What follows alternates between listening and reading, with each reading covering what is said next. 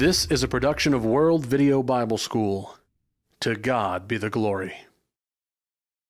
Were you born as a sinner? Do little children do wrong from a very young age because they inherited a sinful nature? Are we naturally inclined to do evil? You know, people in the religious world answer yes to these questions, but what we want to know is what does the Bible say? That's what we're going to talk about in this study.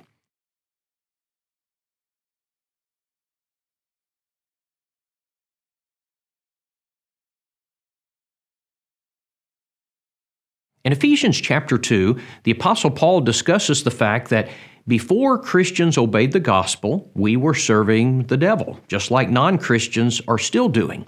And then he writes this in verse 3 Among whom, that is, among the world, also we all once conducted ourselves in the lust of our flesh, fulfilling the desires of the flesh and of the mind, and were, now listen to this, and were by nature children of wrath just as the others.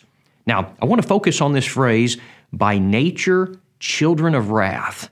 Friends, many people teach that what this phrase means is that we were naturally sinners. They say it means that we were born that way, that, that from the moment we entered this world, we had a sin nature or a sinful nature. Sometimes people call it a fallen nature. Sometimes it's called original sin. Now, what we're going to do as we study this today is we're going to answer three questions. Number one, what is this sinful nature? Number two, where do people get this idea? And then number three, and most importantly, what does the Bible say? All right, here's our first question What is this sinful nature? Now, you may say, I've been a Christian for years and I've never heard of this. I've never read anything in my Bible about a sinful nature. What in the world are you talking about?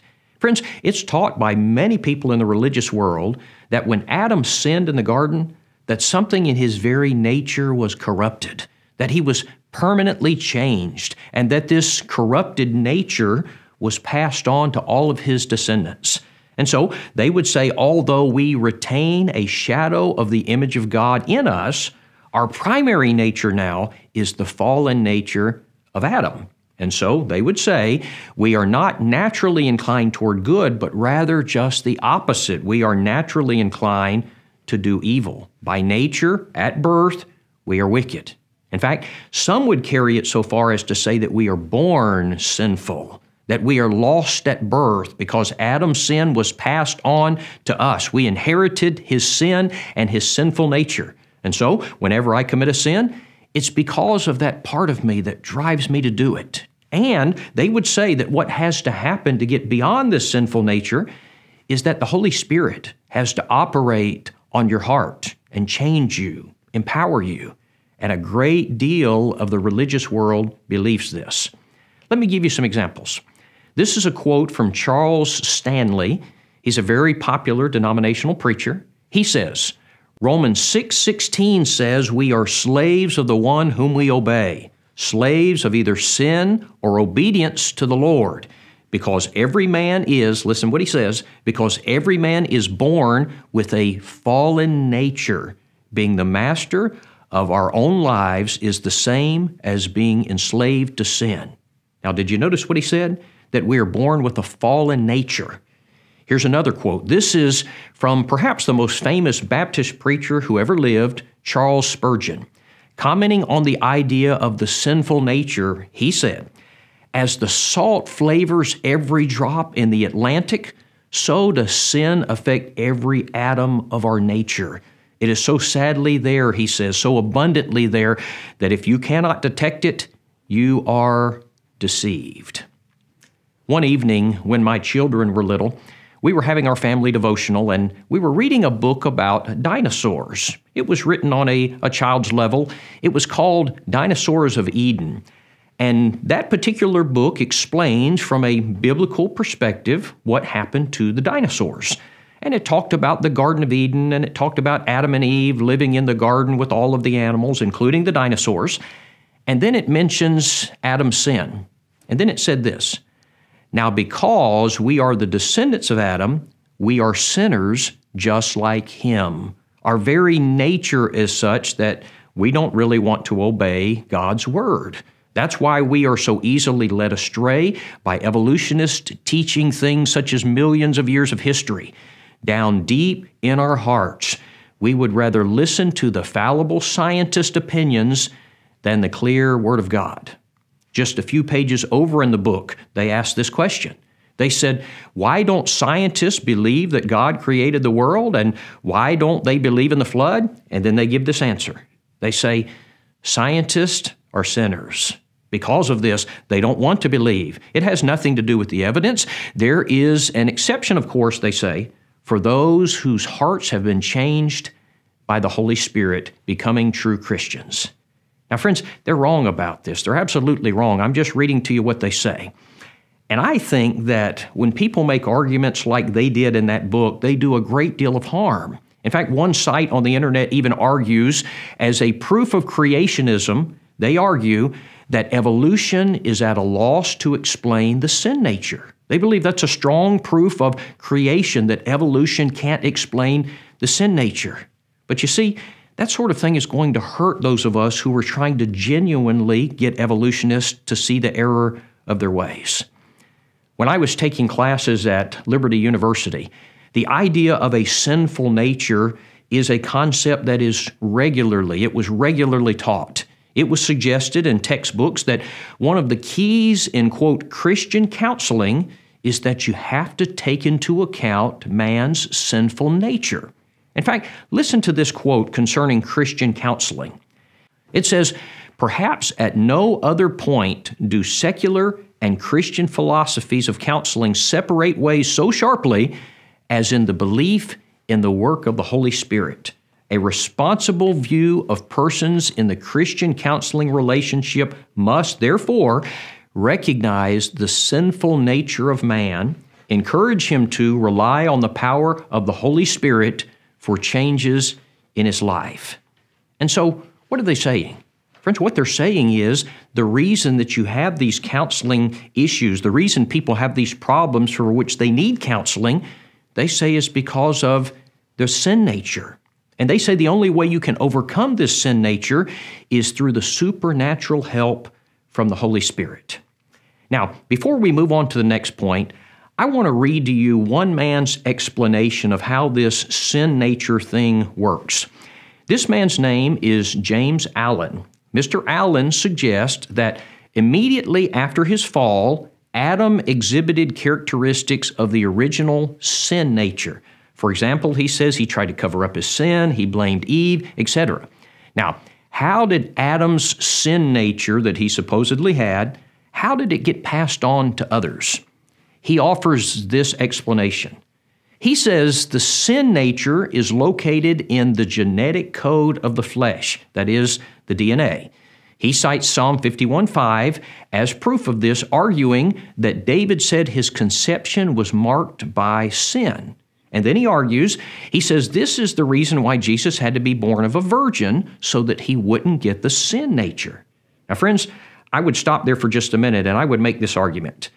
If the sin nature were real and Jesus did not get it, then he was not tempted in all points like we are, as Hebrews 4 and verse 15 says that he was. Anyway, this man argues that when Adam became sinful, he acquired via genetic engineering the sinful nature. I want you to listen to this quote.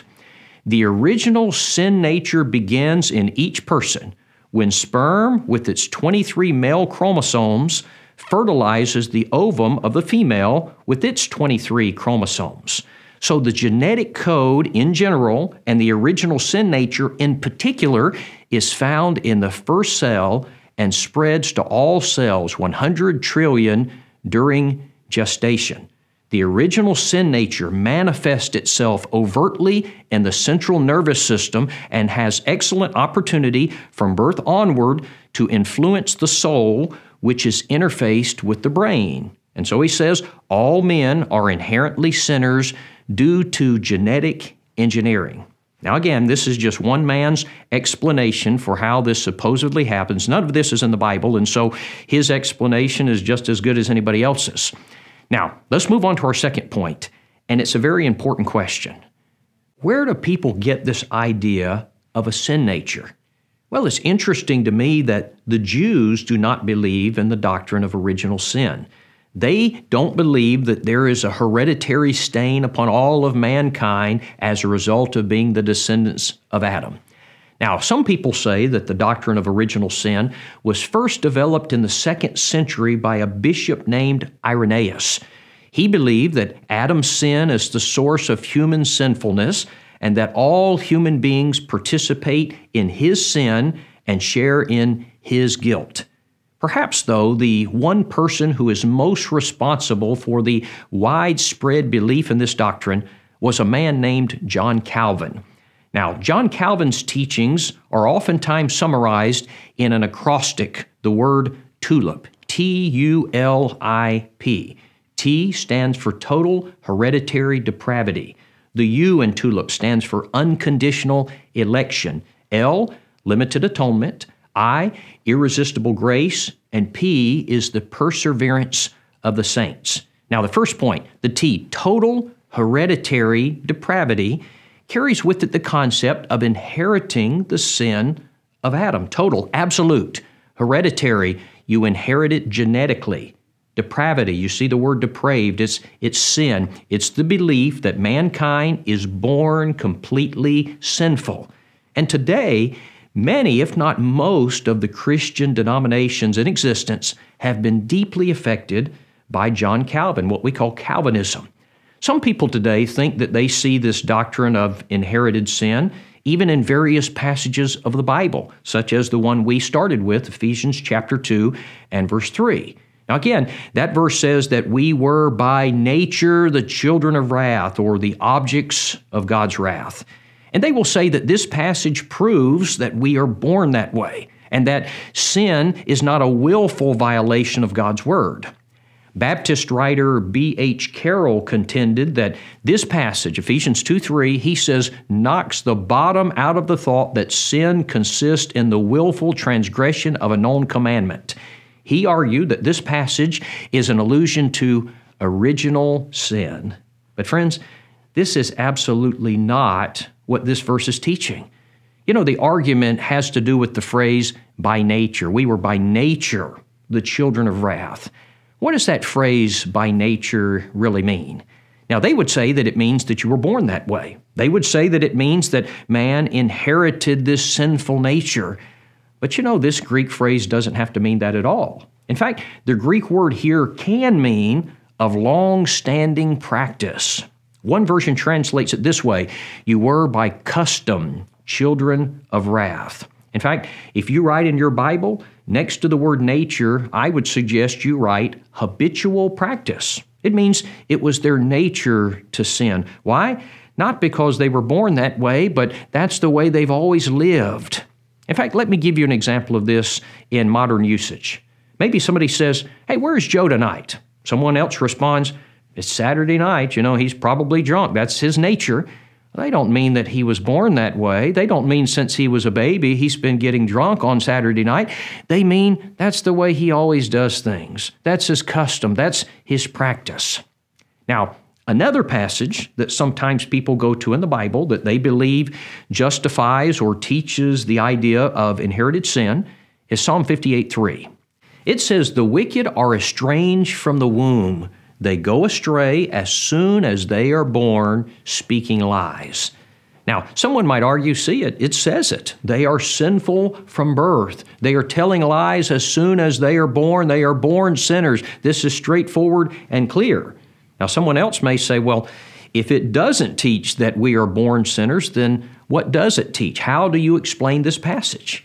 Friends, the first thing that we have to be aware of when we look at this passage is that it is a psalm. It is highly poetic in nature and it contains a lot of figures of speech. This particular verse is a hyperbole. A hyperbole is an exaggeration for the sake of emphasis. It is not literal. Now, someone might say, well, that's easy to say. How do you know that? Can you prove that? Well, in verse number three, the text says, He is speaking lies as soon as he is born. Every parent knows that that's not the way it works. Babies aren't speaking as soon as they are born, much less are they telling lies the second they are born. What's the point? It's an exaggeration. It's a hyperbole for the sake of emphasis. Furthermore, verse 6 says that these little ones who are speaking lies should have their teeth broken. Have you ever seen a baby with a set of teeth as soon as he's born? Again, it's not literal. This is hyperbole. And if the language of Psalm 58, 3 through 6 is literal, then one must conclude that we're not dealing with human beings at all, but rather with lions. Because verse 6 says, to break out the fangs of these young lions. Friends, this would be very strange. You've got talking lions who are telling lies. This sounds like something out of a, a Disney movie, The Lion King, maybe. What's the point? The point is, it's not literal. There is hyperbole and figurative language being used here. So, what does this passage really mean? Friends, the point is very early in a person's life, he turns against God. In fact, notice that verse number three says that they go astray. That's important. They go astray, not that they are born that way. That alone ought to settle the question. I'll tell you another reason why many people today believe in the doctrine of the sinful nature, and it's because of the NIV, the New International Version of the Bible. Now, this particular translation was translated by individuals who believed strongly in Calvinism and inherited sin. They believed in the false doctrine of original sin and that man has a sinful nature. And so, as a result, many times when they would run across the Greek word sarx, sarx is a Greek word which means flesh. But instead of translating it as flesh, they translated it as sinful nature. Now, in reality, there is no Greek word for sinful nature, but 23 times the NIV has inserted this phrase into their translation. Now, I went and checked some other translations to include the King James, the New King James, the American Standard, the New American Standard, the Revised Standard, the ESV, and none of them contain the phrase sinful nature.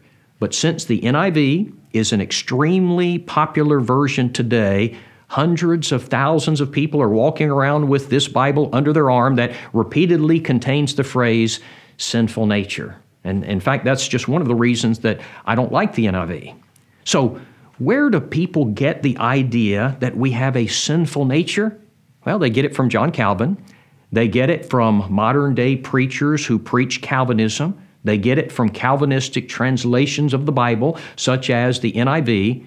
And here's one more source that you might not expect. Some people think that they even see this sinful nature in children. They will say this they will say no one has to teach a baby to be selfish or self seeking or demanding. They will argue that children are just naturally that way. They say it's part of their sin nature. And so they say when a baby cries, it's because of his sin nature. In fact, I want to give you an example of this. This is from a website written by a man who identifies himself as Elder James Taylor. He says, Newborn infants legitimately cry for three reasons hunger, soiled diapers, and pain, usually from gastronomic distress. During the first few weeks or months of a baby's life, whenever he cries, mama will feed him, change his diapers, and burp him, and that takes care of it. When she sets him back down, everything is okay. But after a few months, when she sets him down this time, he continues to cry. Now he is crying for your attention, but you thought it was hunger, soiled diaper, or pain, and it was none of the above. Then on Sunday, while sitting in church, and he adds this note Primitive Baptist churches have no nurseries, we are congregational only. He begins to cry during the church service. Taking him out and checking for hunger, soiled diaper, or pain finds nothing. But he stops crying until you return to services. Then he starts all over again. He is tired of sitting still and he wants to get down and play.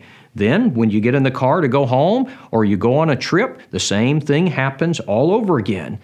Now is the time to realize that the wicked are estranged from the womb. They go astray as soon as they be born, speaking lies. He says, Lies and sins in general are based on our natural self centeredness. This self centeredness is part of man's fallen sin nature inherited from Adam. And friends, I want to tell you that this man is certainly not unique in this view. In fact, I would encourage you to search the internet and you will find many people who hold this idea that you see the sin nature in the behavior of little children. Friends, can I very kindly but seriously say to you that when a person asserts that a baby cries because of a supposed sinful nature, that is absurd. Now, here's the third question. This is the most important one, of course. What does the Bible say? Now, first, the Bible does not teach that babies are born evil or even inclined toward evil. In Matthew 19 and verse 14, Jesus said, Let the little children come to me, and do not forbid them, for of such is the kingdom of heaven. In Matthew 18 and verse 2, then Jesus called a little child to him, set him in the midst of them, and said, Assuredly I say to you, unless you are converted and become as little children, you will by no means enter the kingdom of heaven. Therefore, whoever humbles himself as this little child is the greatest in the kingdom of heaven. Friends, you see, the Bible teaches that the qualities of little children are models for us to emulate. Surely the Lord was not suggesting that we model ourselves after little, totally corrupt sinners. In fact, in 1 Corinthians 14 and verse 20, the Bible tells Christians to be as babes. Now, if babes are sinful or have a sinful nature, then why in the world did the Apostle Paul write that? Now, secondly, as we consider the question, what does the Bible say? Ezekiel chapter 18 and verse 20 teaches us that sin is committed, not inherited. In fact, I want you to listen how very clearly this is stated. The soul who sins shall die. The Son shall not bear the guilt of the Father, nor the Father bear the guilt of the Son. The righteousness of the righteous shall be upon himself, and the wickedness of the wicked shall be upon himself. Friends, the Bible teaches I am not going to inherit the sin of Adam or anyone else. 1 John chapter 3 and verse 4 defines sin as the transgression of the law, and it's something that I commit, not something that I inherit. Thirdly, what does the Bible say? Ecclesiastes chapter 7 and verse 29 teaches that God made us good. Truly, this only I have found that God made man upright, but they have sought out many schemes. Now, what's the point of that verse? God made us good. We were not born depraved, we were sinless. Here's a fourth passage. What does the Bible say? Isaiah chapter 59, verses 1 through 8 says, Your sins have separated you from God. Notice that, your sins, not someone else's sins, not something inherited from Adam. And then in verse number 8, he lists some of these specific sins that separate man from God, none of which a baby would be capable of committing.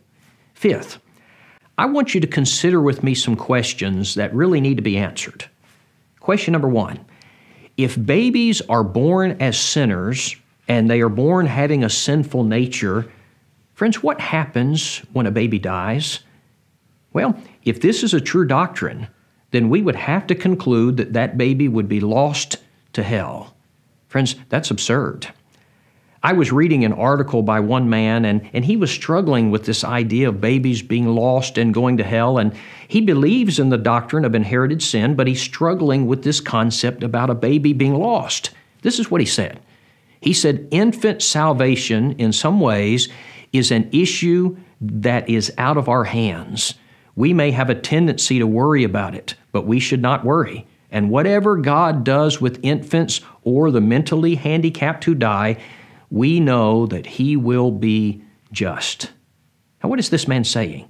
He's saying, I know what my doctrine says, but he says this is giving me some trouble. This is bothering me when it comes to this issue of babies being lost. Friends, if he would just stop believing this doctrine, then this issue goes away. Question number two If we sin because of a sinful nature, then why did Adam sin? Now, people who hold this doctrine, they don't believe that Adam had a sinful nature, but rather that Adam made a choice. Friends, I submit to you that the same thing is true for every one of us. God created us with the freedom to choose. There are good things that we can choose to do. There are bad things that we can choose to do. Some bad things are pleasurable and therefore we want to do them. Listen what James says. James chapter 1 and verse 14. But each one is tempted when he is drawn away by his own desires and enticed. Then when desire has conceived, it gives birth to sin, and sin, when it is full grown, brings forth death. You see, Satan is going to make it his goal to show us pleasurable bad things, and he's going to tempt us to engage in these things. Sometimes he will trick us. Sometimes we give in due to ignorance. Sometimes we knowingly sin. Sometimes, however, we resist and we do what is, is right. But you see, it's because I have a choice. You know, one of the things that puzzles me is why people will look at a baby or a child who does something wrong and they will conclude he has a sinful nature. You know, oftentimes little children do good things. Little children will share, they will bring you a flower, they will say, I love you, Daddy. Why don't people then conclude, well, he must have a godly nature? You see, it's biased to fit the doctrine. All right, here's question number three What would it say about the justice of God if He charged me with sin that someone else committed? You know, even as human beings, we don't do that. Our innate God given convictions irresistibly tell us it is not right to hold a man responsible for a deed that he did not commit. Psalm 89 and verse 14 says, Righteousness and justice are the foundation of God's throne.